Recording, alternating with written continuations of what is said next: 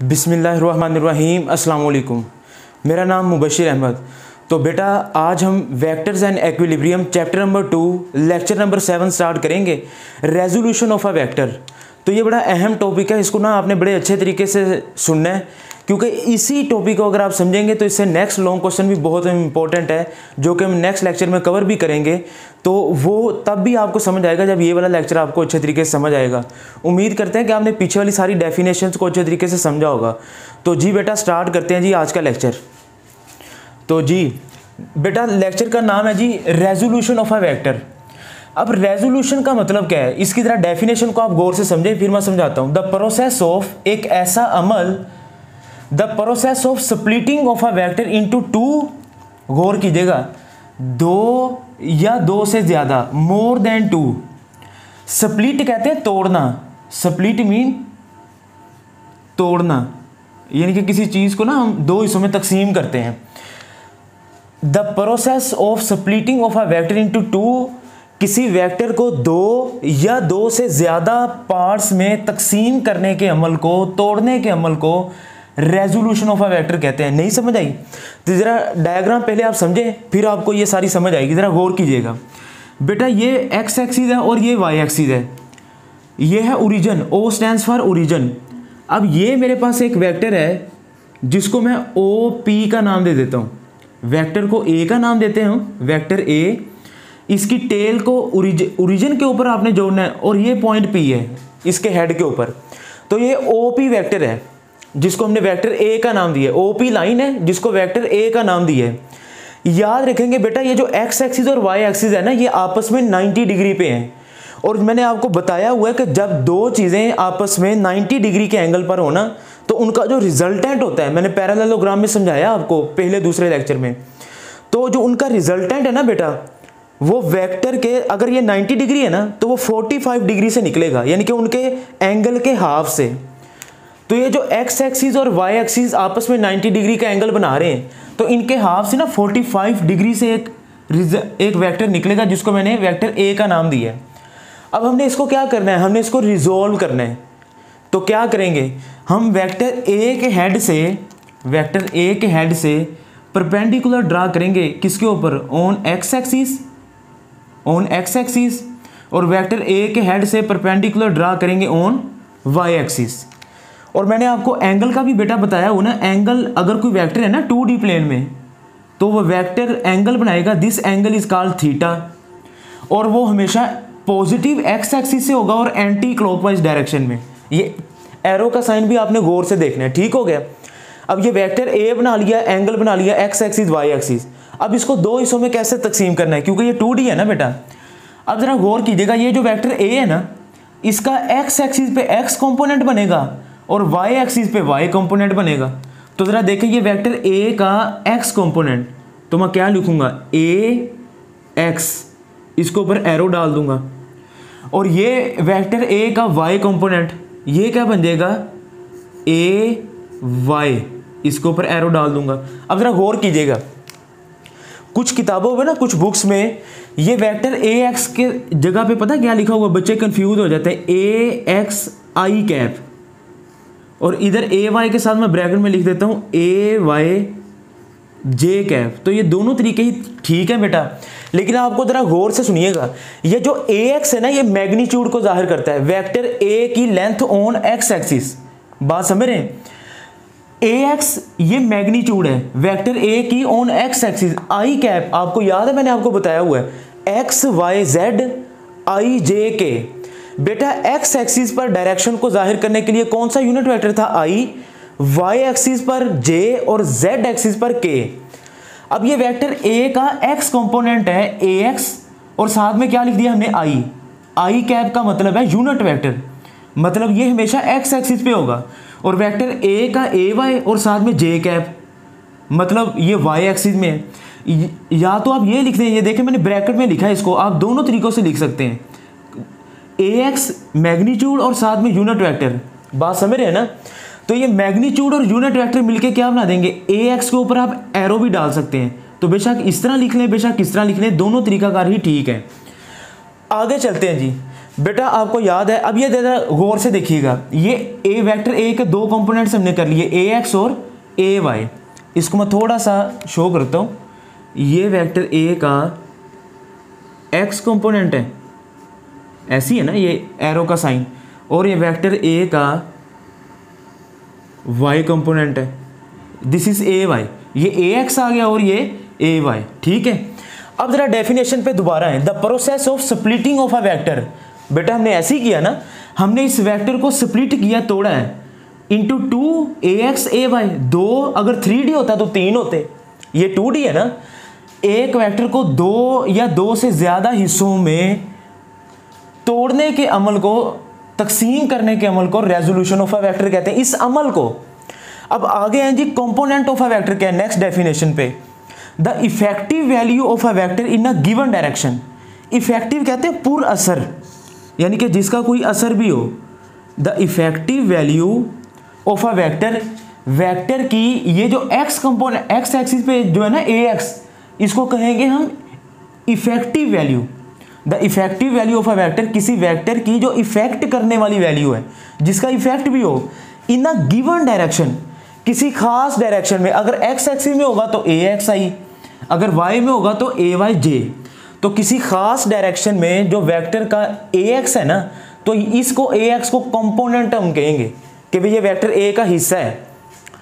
बेटा नेक्स्ट आ जाए rectangular rectangular का मतलब है 90 डिग्री 90 डिग्री रेक्ट का मतलब है राइट और एंगल एंगुलर का लफज किसे निकला? एंगल से। तो राइट एंगल मीन 90 डिग्री मैंने आपको समझाया हुआ है, ये राइट एंगल 90 डिग्री अब पहले हमने कंपोनेंट्स ऑफ़ अ वेक्टर पढ़े हैं। अब हम पढ़ेंगे rectangular the components of a vector which are perpendicular to each other perpendicular का मतलब क्या है?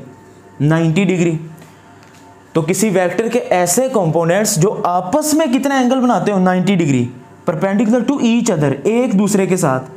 तो उन कंपोनेंट्स को हम क्या कहेंगे? रेक्टेंगुलर कंपोनेंट्स जिस तरह इधर आ जाए। अब देखें ना वेक्टर ए है। ये वेक्टर ए का एक्स एक्स कंपोनेंट है ए एक्स आई और ये वेक्टर ए का वाई कंपोनेंट है ए वाई जे तो अब जरा गौर करें बेटा ए एक्स और ए वाई पे। ये ए एक्स आई है, ये ए वाई जे है।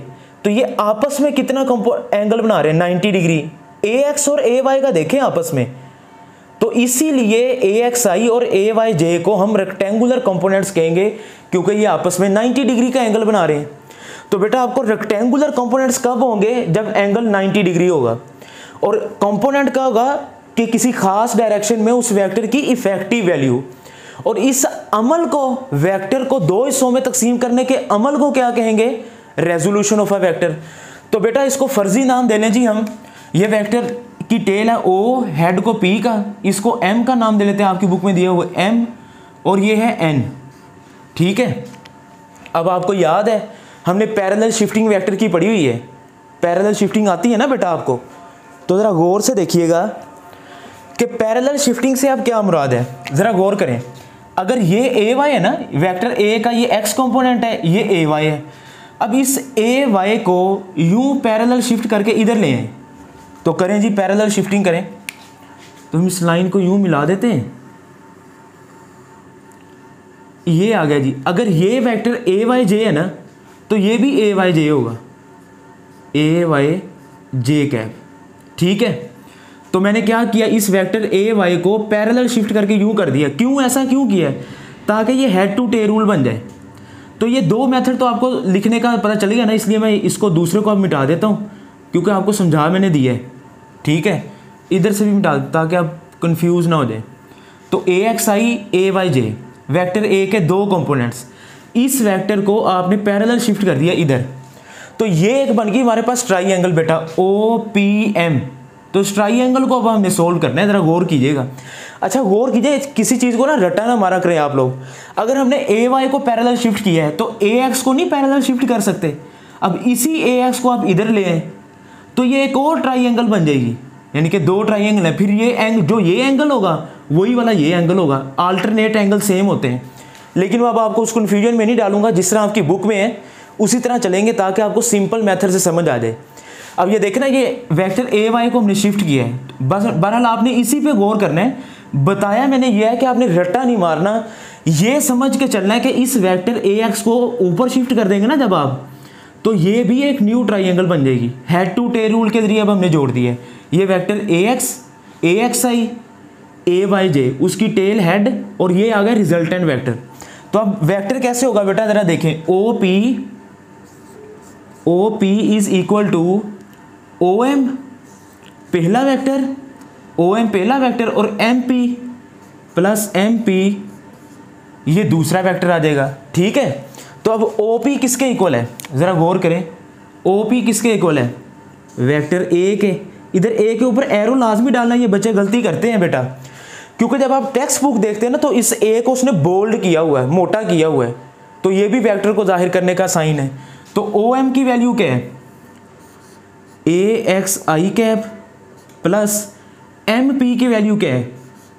ए वाई जे कैप तो बेटा ज़रा गौर कीजिएगा ए वैक्टर अब ये मैग्नीट्यूड और साथ में यूनिट वेक्टर जो कि डायरेक्शन को ज़ाहिर करता है मैग्नीट्यूड और डायरेक्शन इसको हम ऐसे भी लिख सकते हैं A X vector plus A Y के ऊपर एरो का साइन तो बेटा ये हमारे पास वैक्टर आ जाएगा।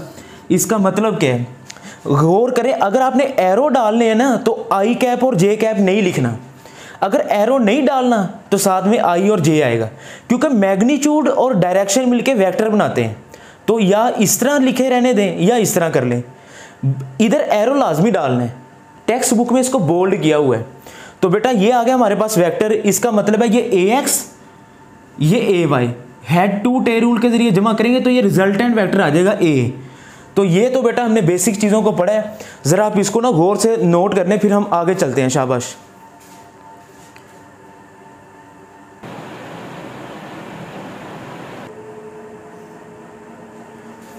जी बेटा, अभी हमने डायग्राम को समझा और डेफिनेशन सारी पढ़ ली ना?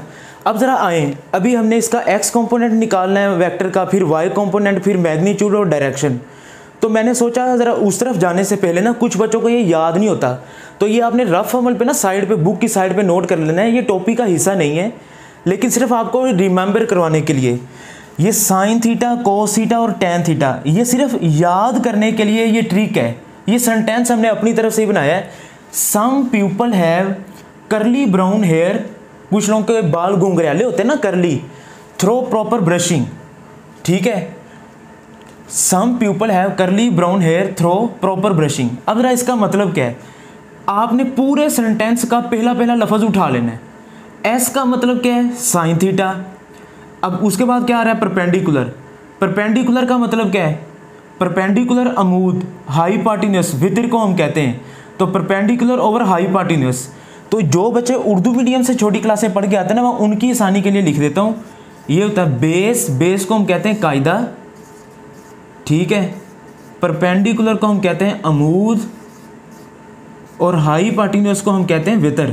तो ये बेटा कुछ बच्चे उर्दू मीडियम से छोटी क्लासें पढ़ के आते हैं तो मैंने इसलिए सिर्फ़ उर्दू में लिखा ताकि उन बच्चों को भी समझ आ जाए। ठीक है? जो बच्चे वो उर्दू मीडियम पढ़ते हैं ना, ऊ, कु, अख। तो ये वही चीज़ है। बहरहाल हम, क्योंकि अब एफएससी में इंग्लिश मीडियम पढ़ेंगे ना सारा तो वो सारा मैंने आपको इंग्लिश में बताया। लेकिन ये उन बच्चों की आसानी के लिए जो उर्दू मीडियम में है, जो उर्दू मीडियम से मैट्रिक वगैरह छोटी क्लासें पढ़ के आए हैं। बहरहाल इससे आपने परेशान नहीं होना। तो एस का मतलब क्या है? साइन थीटा साइन थीटा किसके इक्वल है जी? परपेंडिकुलर ओवर हाई पैटिनियस ठीक है?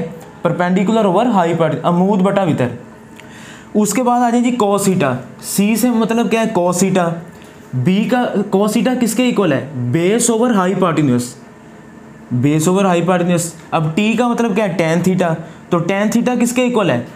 परपेंडिकुलर ओवर बेस तो ये बेटा देखें साइन थीटा कोसीटा और टेन थीटा तो ये तीनों फार्मूले आप लोगों ने याद रखने हैं, ये किसके इक्वल होते हैं? क्योंकि अब हम जो नेक्स्ट पढ़ेंगे ना, वो इसी से रिलेटेड है एक्स कंपोनेंट वाई कंपोनेंट और डायरेक्शन वगैरह. तो आपको ये साइन कोस टेन याद होने चाहिए।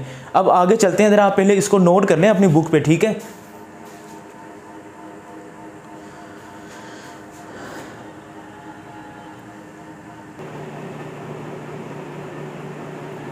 जी बेटा तो अभी हमने डेफिनेशंस और डायग्राम को समझा और मैंने आपको ट्रिक भी बताई कि साइन थीटा कोस थीटा और टेन थीटा को याद करने का तरीका कार क्या है।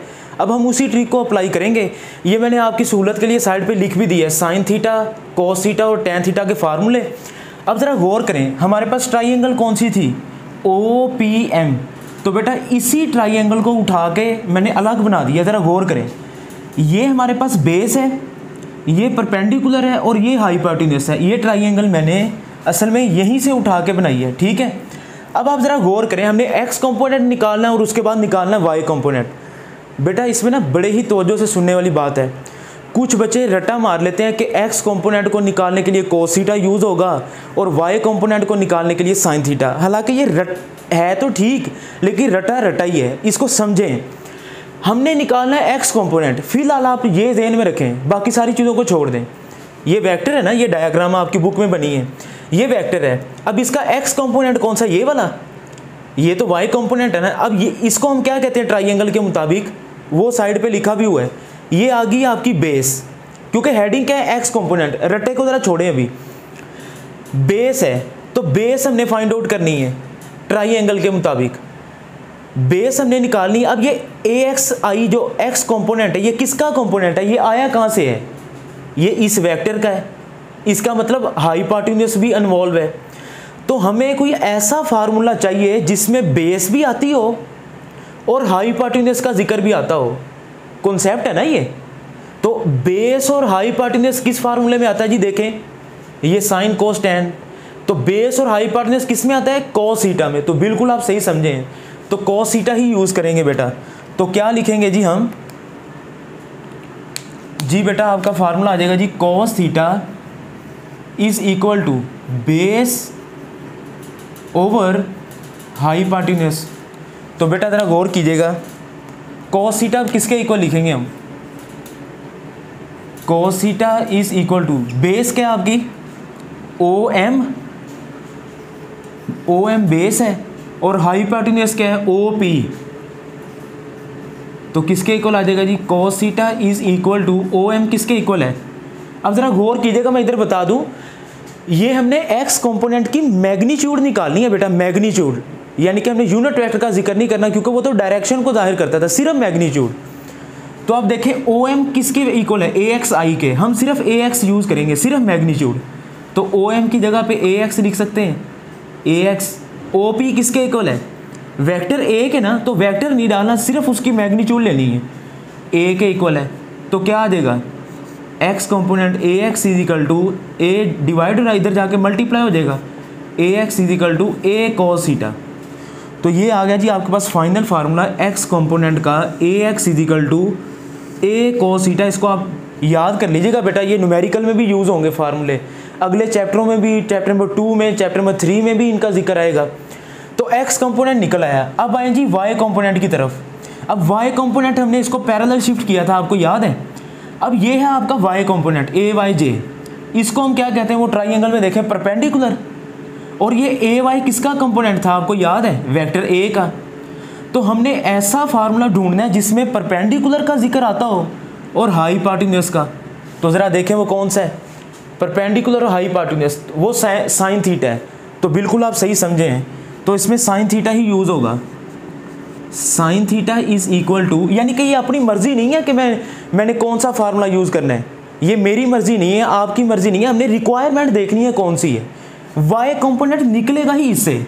ये वाई कंपोनेंट है ना ए वाई परपेंडिकुलर ये कंपोनेंट है किसका? इस वेक्टर ए का। तो परपेंडिकुलर और हाईपार्टिनियस जिस फार्मूले में आता है, वो लगा दें।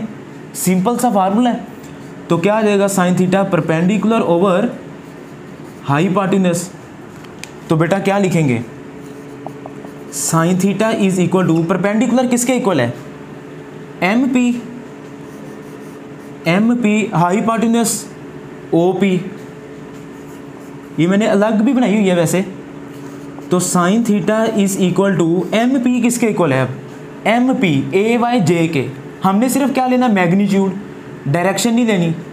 तो क्या लिखेंगे? ए वाई और ओ पी वैक्टर ए के सिर्फ़ मैग्नीट्यूड लेनी है।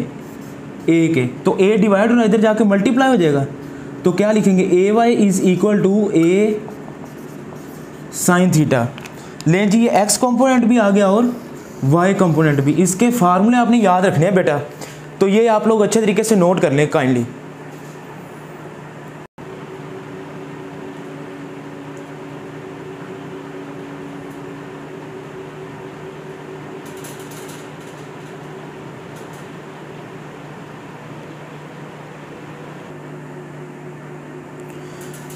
तो जी बेटा, अभी हमने वेक्टर उसके दो कंपोनेंट्स पढ़े हैं एक्स कंपोनेंट और वाई कंपोनेंट आपको पता है ए एक्स किसके इक्वल है? A X is equal to A cos theta और A Y is equal to A sine theta तो बेटा, अब हम चलते हैं जी, इसकी मैग्नीट्यूड कैसे आनी है? लेकिन उससे पहले ना, ये एक डेफिनेशन आप लोग नोट करें।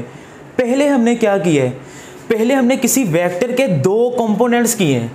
यानी कि हमने एक वेक्टर से उसके दो कंपोनेंट अचीव किए हैं। तो उस अमल को कहते थे रेजोल्यूशन अब है उसका उलट. अब हमने कंपोनेंट्स को लेना है और वेक्टर को अचीव करना है. यानी कि आप समझ रहे हैं ना, पहले हमने वेक्टर के कंपोनेंट्स किए हैं. किसी एक वेक्टर को दो हिस्सों में तकसीम करना, इस अमल को क्या कहते हैं? रेजोल्यूशन ऑफ़ अ वेक्टर और दो हिस्सों से एक वेक्टर अचीव करना, उसका उलट. तो वो कहलाता है कंपोजिशन जोड़ना आपस आपस में ना कंपोज करना, यानी कि, अब जरा गौर करें, इसकी definition the process by which a vector एक ऐसा अमल जिसके ज़रिए एक वेक्टर कैन बी ऑप्टेन हासिल कर सकते हैं फ्रॉम इट्स रेक्टेंगुलर कंपोनेंट्स तो एक वेक्टर को हासिल करना है हमने, किस अमल से? उसके कंपोनेंट से। तो बेटा, उसको हेडिंग मैंने दी है मैग्नीट्यूड तो ट्राइंगल है हमारे पास ओ पी एम जिसको मैंने एक अलग साइड पे बनाया है, वो ओ पी एम ठीक है? तो याद रखिएगा, मैग्नीट्यूड निकालने के लिए ना हम पैथोग्रस थ्योरम यूज़ करेंगे। इसको पैथागोरियन थ्योरम भी कुछ लोग पढ़ते हैं, जिसको उर्दू में मसला फीसा गोरस कहते हैं कुछ बच्चे। तो बहरहाल पैथोग्रस थ्योरम मसला फीसा गोरस मैग्नीट्यूड के लिए। हाईपार्टीनियस का square is equal to base का स्केयर प्लस परपेंडिकुलर का स्केयर जिसको उर्दू वाले बच्चे पढ़ते हैं। वितर का स्केयर इज़ इक्वल टू कायदा का स्केयर प्लस अमूद का स्केयर तो ये वही है। मैंने उर्दू में बताया ताकि बच्चों के लिए आसानी हो जाए। बहरहाल, जो इंग्लिश में याद करना चाहते हैं, क्योंकि हमने लिखना तो इंग्लिश में है, अब ज़रा गौर करें। हाई पार्टीनियस का square is equal to base का स्केयर प्लस परपेंडिकुलर का स्केयर इस फार्मूले को पैथोग्रस थ्योरम कहते हैं बेटा। अब हाई पार्टीनियस किसके इक्वल है, ज़रा गौर करें। ओ पी के तो क्या लिखेंगे? ओ पी का स्केयर प्लस बेस किसके इक्वल है? ओ एम के ओ एम का square plus perpendicular M P के एम पी का स्केयर। अब ओ पी किसकी वैल्यू है? ओ पी किसके इक्वल है? आपको याद है ना? ओ पी वैक्टर ए के। सिर्फ़ मैग्नीट्यूड लेनी है। ए का square is equal to O M सिर्फ़ मैग्नीट्यूड ए एक्स का square M P A Y का स्केयर तो स्केयर ख़त्म करने के लिए taking under root on both sides तो इधर से स्केयर अंडर रूट से कैंसिल हो जाएगा। ए इज़ इक्वल टू क्या आ जाएगा? ए एक्स का स्केयर प्लस ए वाई का स्केयर होल का अंडर रूट तो ये बेटा आप लोग याद कर लें, मैग्नीट्यूड का फार्मूला क्या निकल आया? A is equal to A X का स्केयर प्लस ए वाई का स्केयर होल का अंडर रूट ये तो है मैग्नीट्यूड का फार्मूला। आप लोग इसको याद कर लें काइंडली अब ज़रा आगे गौर कीजिएगा। बेटा मैंने नोट के अंदर लिखा है जी, magnitude will always be positive बच्चे याद रखेंगे, मैग्नीट्यूड हमेशा पॉजिटिव नंबर ही होगी। कभी भी नेगेटिव नहीं होगी। मैग्नीट्यूड विल ऑलवेज पॉजिटिव ये आप लोग नोट कर लें। अब ये जो हमने फार्मूला पढ़ा है ना ए एक्स का स्केयर प्लस ए वाई का स्केयर ये है टू डी में, क्योंकि हमने टू डी में सोल्व किया है। अगर थ्री डी स्पेस वैक्टर हो तो A is equal to A X का स्केयर प्लस ए वाई का स्केयर प्लस ए जेड का स्केयर होल का अंडर रूट तो ये थ्री डी का फार्मूला है। आप लोग नोट कर लें। अब डायरेक्शन की तरफ़ चलते हैं बेटा।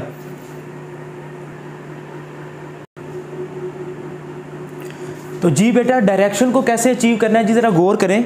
डायरेक्शन के लिए ना हम टेन थीटा का फार्मूला यूज़ करेंगे। Tan theta is equal to आपको पता है, ये लिखा भी हुआ है परपेंडिकुलर ओवर बेस तो इस ट्राइंगल के मुताबिक देखें परपेंडिकुलर क्या है हमारे पास? ये बेस परपेंडिकुलर और हाई पार्टिनेस तो परपेंडिकुलर किसके इक्वल है? एम पी के और बेस किसके इक्वल है? ओ एम के। तो M P over O M अब एम पी की वैल्यू क्या है बेटा? ए वाई और ओ एम की वैल्यू क्या है? ए एक्स तो क्या आ जाएगा? Tan theta is equal to A Y over A X तो टेन इधर आके क्या हो जाएगा? टेन इनवर्स तो theta is equal to tan inverse A Y over A X तो ये बेटा फार्मूला है वेक्टर की डायरेक्शन का। आप लोग इसको भी नोट करने शाबाश। तो जी बेटा टॉपिक हमारा कंप्लीट हो चुका है। कुछ एम मैंने सोचा एंड पे डिस्कस कर लें। एक दो मिनट ज़रा तोजो कीजिएगा। अगर पेपर में एम आ जाए ना maximum number of components of a vector किसी एक वेक्टर के मैक्सिमम कंपोनेंट कितने होंगे? तो बेटा उसका आंसर है इन्फानाइट लातदाद अगर पेपर में एम सी एमसीक्यूज आ जाए maximum number of rectangular component अगर सिर्फ़ कंपोनेंट लिखा है तो इन्फानाइट है। अगर आ जाए रेक्टेंगुलर कंपोनेंट्स बात समझ रहे हैं? ऑफ़ अ प्लेन वेक्टर अब मैंने इधर जानबूझ के डैश डाला है प्लेन वेक्टर अगर आ जाए किसी प्लेन वेक्टर के रेक्टेंगुलर कंपोनेंट्स कितने हैं तो आपने लगाना है दो। आपको पता है ना ए एक्स और ए वाई प्लेन में। और अगर इधर प्लेन की जगह पे आ जाए maximum number of rectangular component of a space vector space vector का मतलब है थ्री तो उसके फिर तीन कंपोनेंट होंगे ए एक्स ए वाई और ए जेड तो ये तीन एम मैंने करवा दिए नेक्स्ट एम देखें जी। अगर पेपर में आ जाए फा at what angle A X is equal to A Y कि वो कौन सा एंगल है जिस पर ए एक्स और ए वाई आपस में बराबर होंगे? ठीक है? इधर मैं लिख देता हूँ नन ऑफ़ दिस तो आप बताएँ कि किस किस एंगल पे एक्स कंपोनेंट और वाई कंपोनेंट इक्वल होंगे? तो आपके जहन में अब आप एंगल ना निकालने बैठ जाइएगा, इसमें नन ऑफ़ दीज आएगा। क्यों बोला?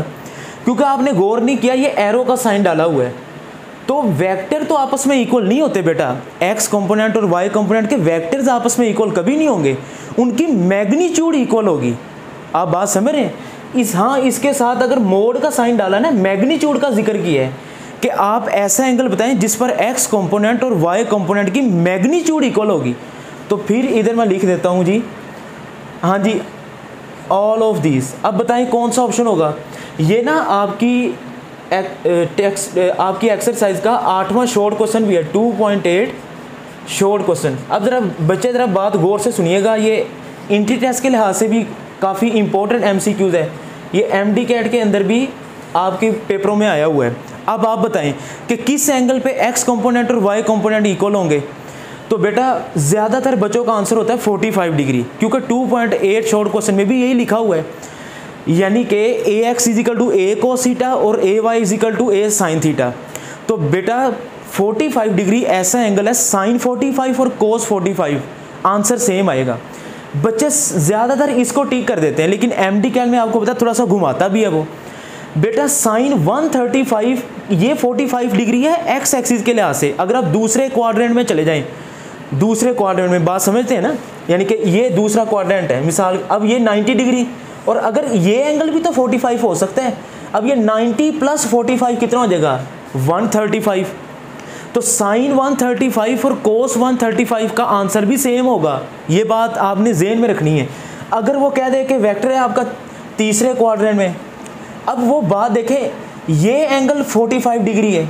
अब देखें 90 और 90 180 180 प्लस 45 225 साइन 225 और कोस 225 भी आंसर सेम देगा। प्लस माइनस को नहीं आपने देखना, क्योंकि हम सिर्फ़ मैग्नीट्यूड की बात कर रहे हैं। वैल्यू सेम आएँगी। अच्छा अगर आपका वेक्टर हो जी फोर्थ क्वाड्रेंट में, क्योंकि जो 2.8 में आंसर दिया हुआ है ना शॉर्ट क्वेश्चन में सिर्फ़ फ़र्स्ट क्वाड्रेंट के लिहाज से है 45 जब वेक्टर पहले क्वाड्रेंट में होगा। अच्छा आप देखें 90 90 180 प्लस 90 कितना हो जाएगा जी 180 और 90 270 180 और 90 कितना हो जाएगा? 270 प्लस 45 तो ये बेटा आ जाएगा 315 तो ए बी सी डी ये चारों एंगल वो हैं जिस पर साइन और कोस के आंसर सेम आएँगे। तो ये ऑल ऑफ़ दीज है। हाँ अगर आपके ऑप्शन में ये 135 225 315 ना हो, यानी कि 45 हो, और ऑप्शन दिए हो 30 डिग्री 60 डिग्री और 90 फिर 45 ही आएगा। ये स्पेशल केस है जो मैंने वैल्यूज़ लिखी है ना अगर ये आंसर ना हो, उसके अलावा कोई हो तो और कोई भी एंगल ऐसा नहीं है। ठीक है? अगर ये चारों ऑप्शन ही दुरुस्त हैं तो ऑल ऑफ़ दीज आएगा। तो बेटा आप लोग ये ऑप्शन नोट कर लें। तो हमने कोशिश कर रहे हैं कि चीज़ को थोड़ा सा डिटेल में पढ़ें। जो लोग कहते हैं ना लेक्चर सर शॉर्ट बनाया करें, बेटा वो गलत है। क्योंकि अगर एक एक चीज़ को समझना तो दो चार मिनट आपको ऊपर भी टाइम देना पड़ता है तो कोई हर्ज नहीं है। अपना बहुत सा ख्याल रखें लेक्चर को बार बार सुने, ताकि आपको मज़ीद अच्छे तरीके से प्रैक्टिस हो सके। अगर ये लेक्चर अच्छा लगा है तो अपने दोस्तों के साथ भी शेयर करें और फीडबैक देना ना भूलिएगा कमेंट सेक्शन में। अपना बहुत सा ख्याल रखिएगा। मुबशर अहमद को इजाज़त दें। अल्लाह हाफिज़।